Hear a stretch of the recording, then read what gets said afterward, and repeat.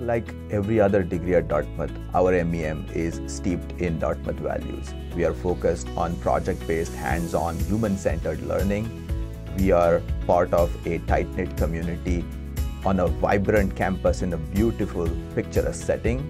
It means that we continue to engage with each other, not just while we are on campus, but throughout the rest of our careers.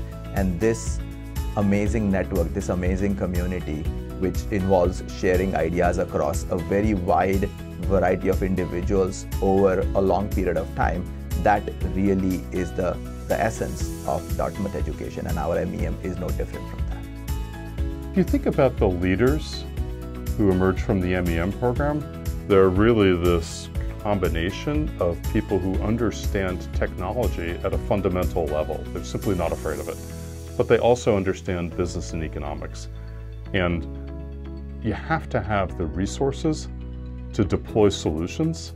And so understanding how you make the case, how you justify projects or initiatives or services is a really important skill, and that's one of the things you learn at MEM.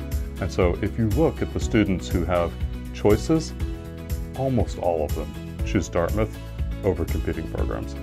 Our faculty are teacher scholars at the top of their professions. In addition to being top academics, they really understand industry, which means that they are able to train students to fit in nicely into a variety of sectors and functions of industry.